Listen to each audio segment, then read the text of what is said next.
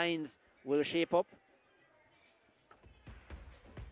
They'll be playing with a 4-4-2 formation, and it's much the same faces that we have seen over the last couple of weeks.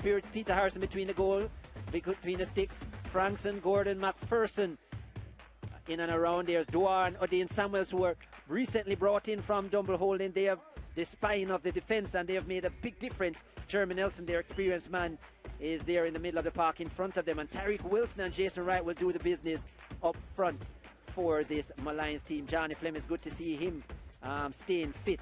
He'll be in the wide areas. They're coached by Jermaine Thomas, and he has had a good string of results of recent. Thomas a win and a draw in his last two games, and hoping to provide more against this Portmore team. I think it will be a very close match between these two. And when you look at this Portmore lineup, a couple of players coming in, yes, but their main goal scorer, as you will see, out due to injury in Siobhan Walsh. An eight goal man so far this season as they go through their last words of prayer. The Portmore team, their captain is back in night. But yeah, as you can see, some business done in the transfer market. Stephen Barnett is here on a full transfer from Dunbeholden. Still yet to score this season, though, Barnett, but had a seven goal season last time out. Let's see how he does it. What started out to be a slow game for Stefan Duar as we look at the full match highlights would turn out to be a real heavy battle between these two. Well, lines in their full blue. Lovely strike from some distance from Wilson. Swerved at the last moment and was kept out by Williams. Molynes always look dangerous when they're coming forward. Wilson with the strike just wide in the first half.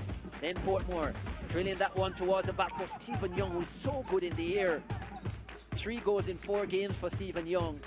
Couldn't get it on target. Clayton Peck provided for Marshall. This is the best chance of the first half. Marshall to Barnett, and he should have finished that, Stephen Barnett. I think he should have just gone with the head. The chest finish so much harder. And a chance missed for Portmore. You just wondered if it was going to be one of those days for them. And then this into the second half, and Jason Wright. Intelligent run, intelligent finish. Great ball from Enrique Gordon, who picked up the assist. And Wright had his sixth of the season. 56 minutes down, and Molynes were one goal ahead. It wouldn't stay for long. First to the heaven. To the heavens. Portmore almost converting right away. Stephen Young. It came off the upright as well as the crossbar. They didn't clear properly, and then Stephen Young with a strike that was blocked by Harrison. And almost within that same play, this happened. Alex Marshall with the dink over the top. He saw the run of Jamar Morrison, and that was a beautiful finish by the Portmore number 15, just redirecting the ball. A subtle touch, but enough to beat Harrison. Had the dive out, but was beaten Harrison. It was one all. After 59 minutes, Portmore right back into it. And then they took the advantage. They carried it. They took the fight to Molynes. Stephen Barnett, eager to get his first goal of the season, determined to get past O'Dane Samuels, and that he did. The stronger of the two. Harrison, no chance. He was sprawled out on the ground, and Barnett giving Portmore the 2-1 advantage and his first goal in a Portmore shirt. Gets the hug from his head coach, Peter William, Philip Williams. What he didn't know was that Molynes had this kind of fight. This should have been another goal for Jason right there. He orchestrated the move right. The pass from McPherson and then an intelligent play with himself and Wilson, but just couldn't get it done. Then Wright providing that for Dennis, who had the strike on target, was well saved. Some real moments it were from it was from Molynes. And then this again. Dennis into the box. It was a dive from Dennis, but Stefan Duar he bought it. Blowing for a penalty. And Wright made no mistake. They should have had a penalty earlier. And Jason Wright calmly converting for 2-2. A smile on the face of Peter Higgins. A point for Molynes.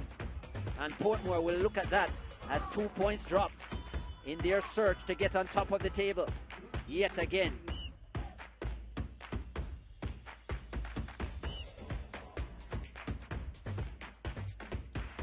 Eleven shots on target from Molynes. Six shots on target from Molynes from 11 attempts. Five on target for Portmore from eight. It was a busy second half for Molynes United and a busy afternoon for Stefan Doa who had to show four yellow cards as there were 24 fouls in the piece. Four saves from Williams, three from Harrison, and the majority of the possession for Portmore, but it's all square after 90 minutes. Molynes United 2, Portmore United 2. Jay Williams is with our man of the match, none other than the priest, the hero for Molynes, Jason Wright. Yeah, today's man of the match, Jason Wright. You got two goals. I'm sure you're wishing you think you got three. Yeah, yeah, definitely. But it's uh, ins and outs of the game. You know, you, you score some, you miss some. But um, the most important thing, we came away with a point um, against a very good team. I know you're a leader in this team. You're the captain, and over the past couple of weeks, they've been significantly. They've been a, there's been a significant improvement in the team's performances. I'm sure you're very proud of, proud of that. Yeah, definitely. I know, and all, a lot of credit goes to the, the coaching staff. Um, they have come and instill a lot of discipline and structure to the group, and I know it's paying off. I know I have to ask you a personal question now. You, you have seven goals in the league now, not too far off from the top scorer. Is that something that you have your eye on? A long season, man. Long season. We have many more games to go. Um, but definitely, um, it, it's, a, it's a joy to be on the score sheet, and I hope um, in coming weeks I can be on the score sheets again. All right, great performance today, and best of luck for the rest of the season. Thank you very much.